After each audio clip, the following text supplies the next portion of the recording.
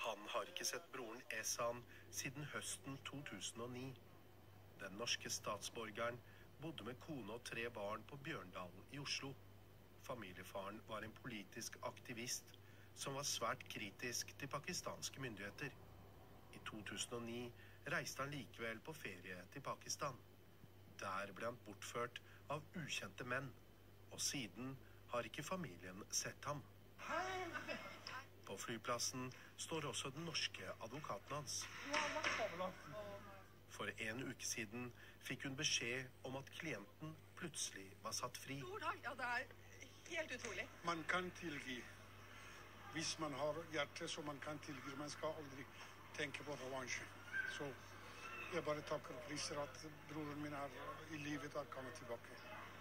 Mens broren og advokaten venter i spenning, dukker Essan Arjemandi opp. Ja, jeg skal se.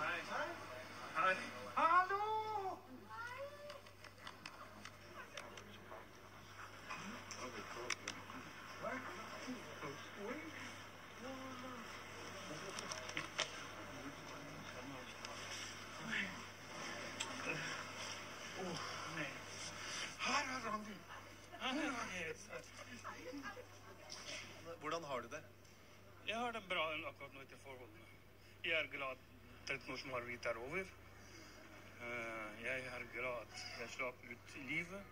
Og grunnen til at jeg slapp ut livet, fordi jeg var norsk. Kan du si noe om eh, hvem som tok deg? Hvordan har du hatt det? Eh, Det er flere etterretningstjenester der som bortfører folk. De har aldri presentert seg til meg hvem de er. Og jeg har alltid hatt bind på øynene, så jeg har sjelden sett ansiktet deres. Språket jeg har kommunisert med det må ha vært engelsk. Trebarnsfaren sier at han foreløpig ikke kan fortelle flere detaljer om bortføringen. Nå ser han frem til å snakke